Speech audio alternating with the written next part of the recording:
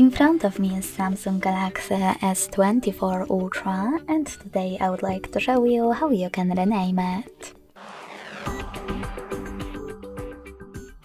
Begin by opening settings and scrolling all the way down to access about phone. Now click on edit under current device name and type in wherever you want to.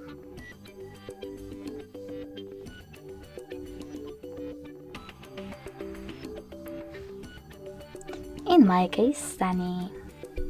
When you finished, select Done in the pop-up.